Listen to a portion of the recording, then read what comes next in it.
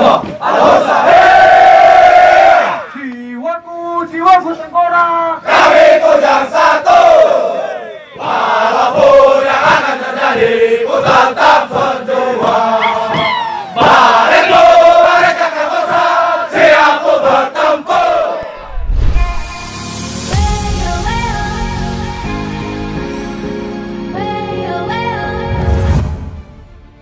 Pasukan Tengkorak Kostrad dapat penghargaan dari Panglima Divit 1. Batalion Infanteri Para Rider 305 Tengkorak kembali mengukir prestasi di jajaran Satuan Divit 1 Kostrad. Kali ini, pasukan elit Kostrad TNI Angkatan Darat bermarkas di Teluk Jambe, Karawang, Jawa Barat itu mendapatkan penghargaan sebagai juara satu Lomba Pembinaan Satuan Jajaran Divisi Infanteri 1 Kostrad periode 1 tahun 2021. Sebelumnya, Batalion Para Rider Spesialis penjaga daerah rawan konflik itu juga mendapatkan penghargaan atas keberhasilannya dalam melaksanakan tugas operasi pamtas mobil di Papua.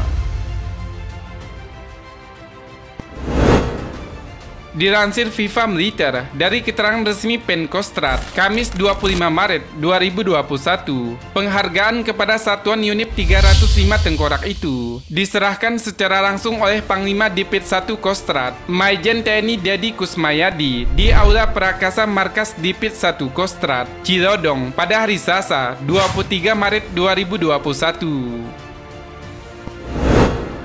Selain mendapatkan penghargaan, Panglima Divit 1 Kostrat juga memberikan kesempatan kepada dan unit PR 305 Tengkorak, Mayor Infanteri Pajar Ahirudin untuk memaparkan kepada seluruh komandan Satuan Jajaran Divit 1 Kostrat tentang pembinaan Satuan Unit PR 305 Tengkorak yang adaptif guna keberhasilan pelaksanaan tugas operasi sebagai Pamtas Mobil Papua tahun 2019 sampai 2020, penanganan COVID-19 di satuannya, dan penanggulangan bencana banjir di wilayah Kabupaten Karawang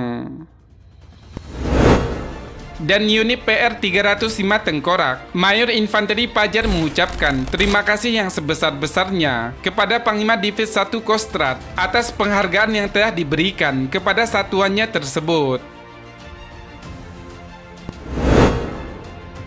Alhamdulillah, ini merupakan salah satu bentuk apresiasi dari Komando Atas terhadap upaya seluruh prajurit dan keluarga besar Satuan Tengkorak yang telah berbuat terbaik dalam menjaga marwah serta kehormatan Satuan Unit PR 305 Tengkorak